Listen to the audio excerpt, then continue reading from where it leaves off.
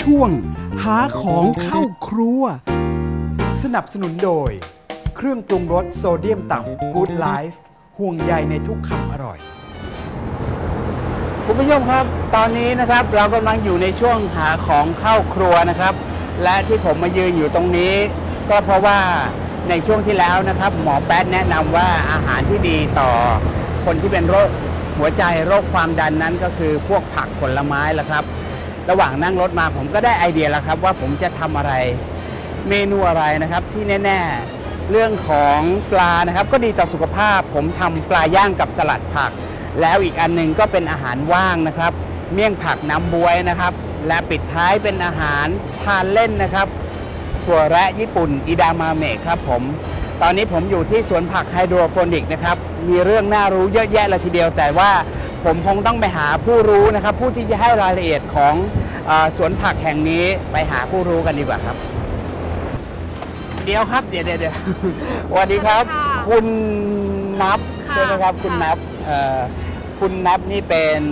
แนะนำตัวเองเลยดีกว่าค่ะนะครับวิยดาชาตวัตถุค่ะ เป็นเลขานุการฝ่ายบริหารของที่ ACK Hydro Farm ค่ะไฮโดร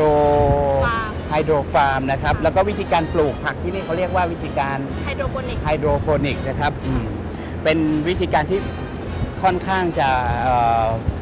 ต่างจากที่อื่นนะครับ เพราะว่าเราปลูกบนน้ำใช่ไหมครับ ใช่ค่ะ แล้วก็เรามีถ้วยใส่ใช่ไหมครับ แต่ว่าในในถ้วยใส่เราก็จะมี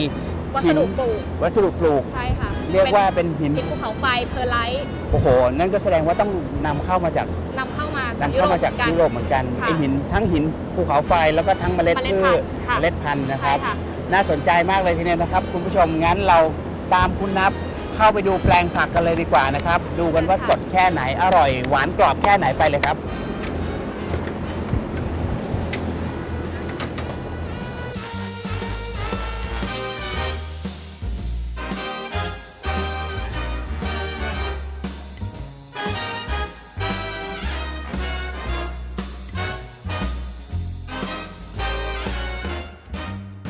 ที่นี่มีผักเยอะมากเลยนะครับ มีกี่ชนิดครับคุณนับ เอ่อหลักๆเนี่ยค่ะจะมีสลัดอยู่ 6 ชนิดอะค่ะ จะมี green oak red oak red coral butterhead สลัด cos แล้วก็ frillice iceberg แล้วก็จะมีพวก herb ที่เป็นสมุนไพรนอกบางชนิดด้วย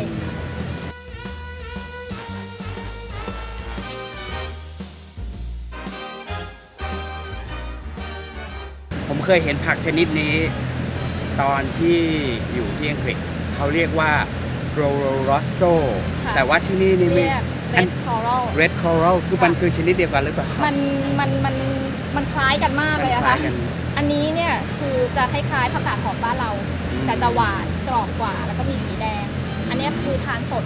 จะอทานร่สอดยจะอร่อย ค่ะ ก็ให้คุณค่าทางอาหาร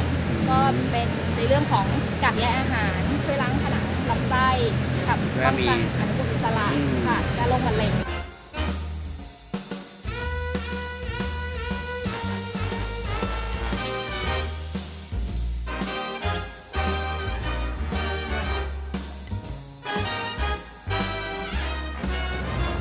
ตอนนี้นะครับที่ข้างหน้าผมนี่ก็คือบัตเตอร์ Butter เฮด Head นะครับค่ะ อืม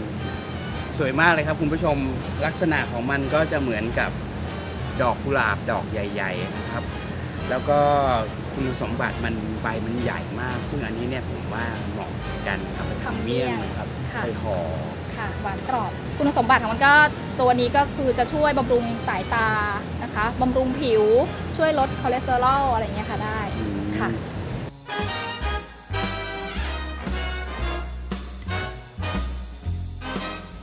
ถ้าอย่างนั้นเดี๋ยวนับจะพาไปดูอีกโรงหนึ่งที่ปลูกกรีนโอ๊กเรดโอ๊กแล้วก็สลัดคอร์สได้ครับผมเชิญงั้นไปกันเลยครับ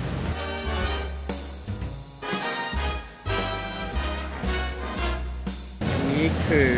Green Green Oak Oak นะครับค่ะ ประโยชน์ของมันนี่มีอะไรบ้างครับก็ช่วยในการสร้างเม็ดเลือดบำรุงสายตาบำรุงเส้นผม อันนี้ทานสดก็จะอร่อยเหมือนกันทานสดก็อร่อยเหมือนกันค่ะ ช่วงเวลาเก็บในส่วนมากเก็บตอนไหนครับ เช้าสายบ่ายเย็นค่ำมืด เอ่อต้องเก็บตอนไม่มีแดดค่ะ แต่ส่วนใหญ่ที่ฟาร์มเนี่ยจะเก็บตอนแต่เช้าก่อนแดดจะออก ก็คือตั้งแต่ช่วงตีห้าถึงประมาณไม่เกิน8ปดโมง แล้วก็ก็จะเก็บไว้อย่างที่คุณคุณนับบอกว่าเก็บไว้ค่ะได้ใส่แพ็คในตู้เย็นค่ะได้ประมาณ 7 วันอาทิตย์หนึ่งนะครับกรอบไหมคะ ก็ กินเล่นได้เลยนะ กินเล่นกินเล่นเปล่าๆได้เลยอะ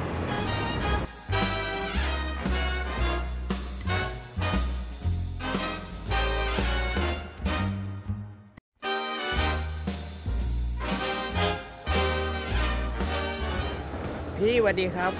ค่ะสวัสดีค่ะ นี่พี่กำลังทำอะไรอยู่ครับ อันนี้ กำลังย้ายต้นกล้าไปลงโต๊ะปลูกอะค่ะอ๋อ อายุเท่าไหร่แล้วครับประมาณอย่างนี้เนี่ยประมาณ 2 อาทิตย์ค่ะอ๋อสองอาทิตย์ก็เท่ากับว่าสี่อีกสี่อาทิตย์ถึงจะเก็บได้ใช่ไหมพี่ ค่ะก็เรียกได้ว่าเป็นเอ่อฝีมือ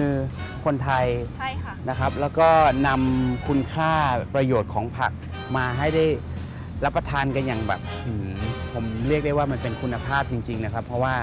มันก็อยู่ไม่ไกลนะครับ อยู่ในกรุงเทพนี่แหละครับ แล้วก็เอ่อหลายๆ คนก็คงจะเริ่มคุ้นเคยกับการรับประทานผักกันมากขึ้นนะครับ โดยเฉพาะวันนี้นะครับ ผมได้ความรู้เยอะแยะเลยคุณนับ จากที่แบบว่าเคยแต่รับประทานนะนะครับ เคยแต่รับประทานแล้วก็อาจจะรู้ประโยชน์บ้าง ไม่รู้ประโยชน์บ้าง แต่วันนี้ได้จากคุณนับแล้วก็จากที่ Super Fresh มากเลยทีเดียว คุณผู้ชมครับ บางทีการที่เราเห็นผักสวยงามเนี่ยมันไม่ได้แค่ความสวยงามเท่านั้นครับ มันหมายถึงอ่าคุณภาพแล้วก็สุขภาพที่ดีด้วย ถ้าเกิดเราเลือกที่จะรับประทานนะครับ แล้วก็วันนี้ต้องขอขอบคุณคุณนับนะครับ คุณนับอีกครั้งหนึ่งนะครับที่ให้เรามาเดินเล่นมาได้รับความรู้ในแปลงผักที่นี่นะครับที่อ่าสวนผักของ Super Fresh นะครับในระบบของ Hydroponic นะครับ Hydroponic นะครับ ก็ขอบคุณคุณนับมากแล้วก็ขอบคุณ Super Fresh ด้วยนะครับ เดี๋ยวผมยังมีส่วนประกอบเครื่องปรุงอีกหลายอย่างที่ต้องไปดูนะครับ ที่จะนำมาประกอบกันนำมาทำอาหารในช่วงของอร่อยต้านโรค เดี๋ยวไปดูกันในช่วงหน้าครับ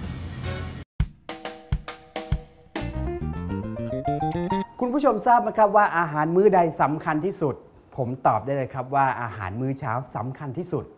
ก็เพราะว่าสมองของเรานะครับต้องการอาหารที่จะไปแปลเปลี่ยนเป็นพลัง เพื่อที่จะปฏิบัติภารกิจในวันนั้นๆ วันนี้ก็เช่นกันผมมีเมนูอาหารเช้าที่ดีมีประโยชน์ มาแนะนำคุณผู้ชม นั่นก็คือ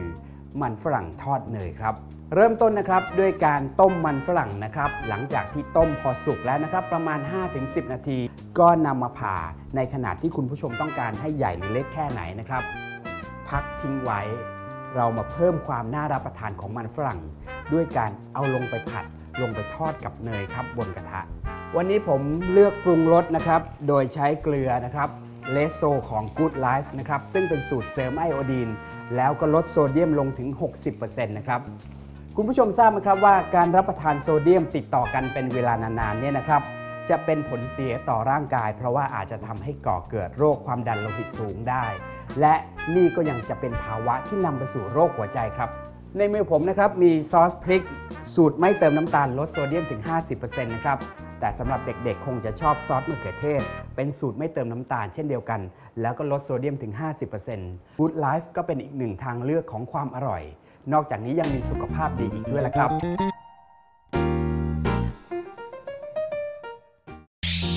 ฉะนั้นเมนูแรกเมนูสุขภาพของผมนะครับ ในวันนี้ก็จะเป็นอาหารเบาๆนะครับ เป็นสลัดผักปลาย่างนะครับ เบาๆ ผมเลือกใช้เกลือเลสโซนะครับ ซึ่งเป็นสูตรลดโซเดียม 60%นะครับ พอคนได้ที่นะครับ ก็ราดได้เลยนะครับ เสิร์ฟพร้อมขณะที่มันกำลังออุ่นๆนี่แหละครับคุณผู้ชม